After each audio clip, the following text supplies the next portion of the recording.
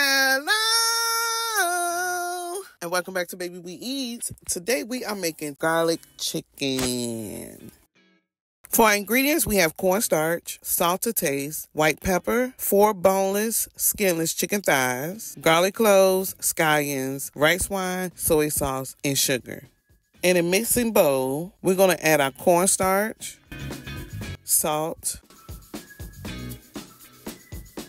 and white pepper. You want to cut your chicken thighs into bite-sized pieces. And now here we're going to dredge the chicken pieces into our cornstarch mixture. And we're going to shake off any excess cornstarch and we're going to set it aside. The next thing we're going to do, we're going to heat up some oil in our frying pan or wok. And next we're going to add our chicken into our oil until golden and cook through. So I'm adding my chicken and here I'm just flipping it over.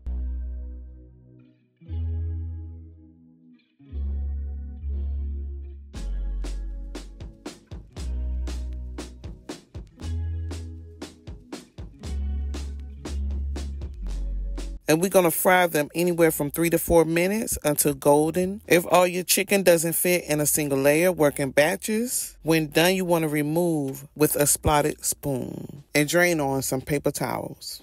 The next thing we're going to do, we're going to add some oil and we're going to stir fry our garlic.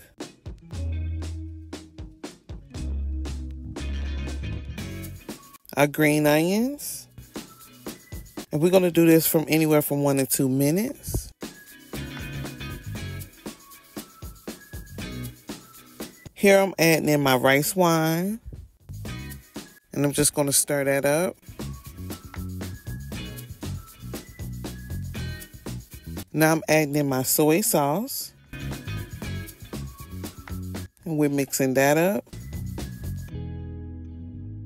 And here I'm just adding in a little bit of sugar and a pinch of white pepper.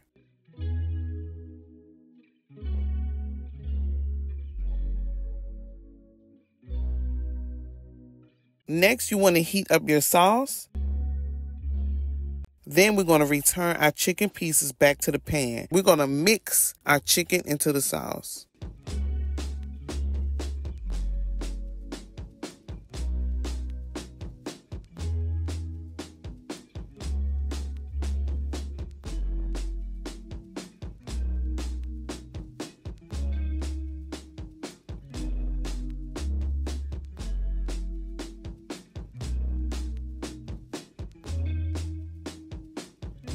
You want to serve over the rice or it is also great as a finger food. And look at this chicken. It is so fragrant and this chicken was delicious. Today we made Chinese garlic chicken. I want to thank you for watching Baby We Eatz. And if you like this video, don't forget to like, comment, and subscribe.